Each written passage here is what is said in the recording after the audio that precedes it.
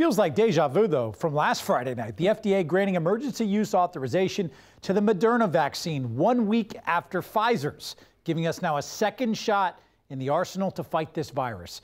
Welcome to Nightside, everybody. I'm Ryan Bass. And I'm Carolina Lee joining you tonight. The doses of Moderna's vaccine are ready to roll out to states across the country.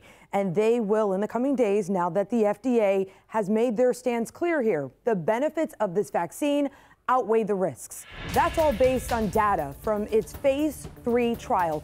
30,000 people took part in it.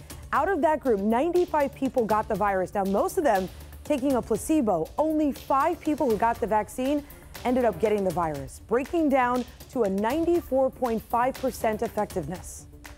Now, with one FDA approved treatment and several treatments authorized under EUA, along with two preventative vaccines authorized under EUA, and more potentially in the pipeline, we truly hold the promise to alter the course of the COVID 19 pandemic.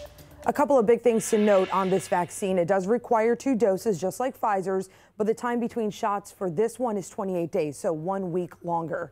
But probably one of the most important parts here is how it is stored. This vaccine can be kept in regular freezers. Remember, Pfizer needs incredibly cool temperatures, limiting which hospitals can actually get it.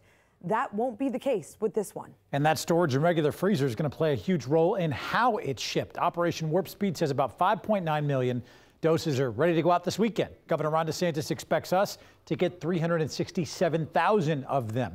They're going to go to 173 hospitals across Florida that didn't get that Pfizer vaccine. So, really expanding our ability, obviously, to vaccinate healthcare workers, then eventually our long term care facilities.